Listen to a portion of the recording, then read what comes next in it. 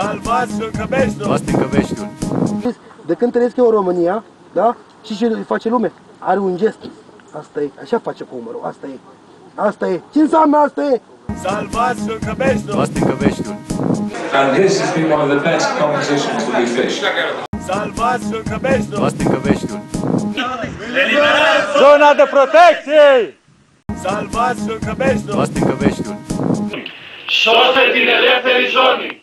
Salvați Căbeștiul! Basti Căbeștiul! În aceste localități mici, repet, s-au ridicat și s-au dezvoltat pe turism, evenimente, hobby-uri și nu pe vile pe malul lac, acelor lacuri.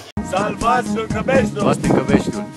Sigur că trebuie neapărat găsit o soluție ca această zonă de protecție să, să fie liberă. Salvați Căbeștiul! Basti Căbeștiul! Sper ca legea să dea câștig de cauză fraților parfene și Salvați Căbeștiul! Basti Căbeștiul!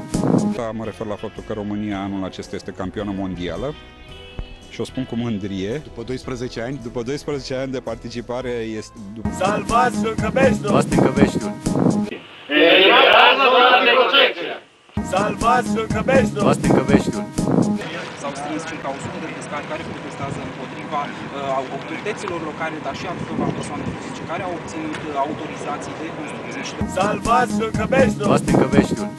Pe zona din jurul lacului, mai exact zona de protecție de câteva metri, vor urma să se facă construcții de locuințe. L-am alături de mine chiar uh, pe administratorul lacului, uh, domnul uh, Ovidiu Parfenie. Salvați Căbeștiul! Basti Căbeștiul! De când trăiesc eu în România, da? Și ce face lume? Are un gest. Asta e, așa face cu umărul, asta e. Asta e. Ce înseamnă asta e? Destinul faci tu singur cu mâna ta.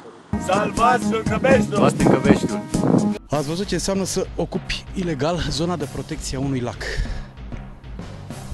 Noi v-am arătat, v-am informat, sperăm să nu se mai întâmple lucrurile astea, iar autoritățile să rezolve această problemă cu bine.